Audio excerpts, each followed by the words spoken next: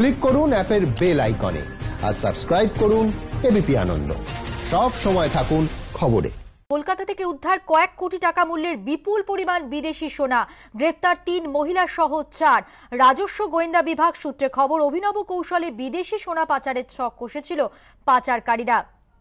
দলের এক সদস্য অটো চালাতো, সেই অটোয় চড়ে সল্টলেকের বিভিন্ন এলাকায় ঘুরে বেড়াতো পাচারকারীরা। উত্তর চব্বিশ পরগনার বনগাঁড় ভারত বাংলাদেশ সীমান্তবর্তী এলাকায় গরিব মহিলাদের চিহ্নিত করে তাদের দিয়ে সোনা আনানো হতো সল্টলেকে আর সেই বিদেশি সোনা আরেকটি দলের মাধ্যমে বড় বাজার ছাড়াও কলকাতার বিভিন্ন জায়গায় পাচার করা হতো।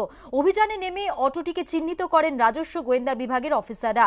তিনজন মহিলা অটোয় চড়তে দেখা যায় তাদেরকে পিছু ধাওয়া করে অটো থামিয়ে চালক ও তিন মহিলা যাত্রীকে আটক করা হয়।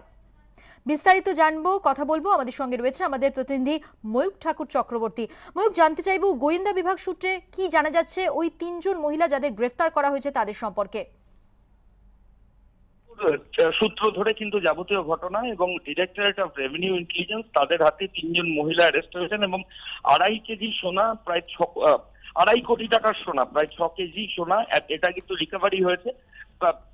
বেশ কিছুদিন ধরে এদেরকে রেকি করা হয়েছিল, গোটা ঘটনা কীভাবে ঘটছে এটা ডিআরআই এর গোয়েন্দাদের কাছে খবর ছিল, এবং তারপরেই এই সীমান্ত এলাকা থেকে এদেরকে ইন্টারসেপ্ট করা হয়, এমনটাই ডিআরআই সূত্রে খবর।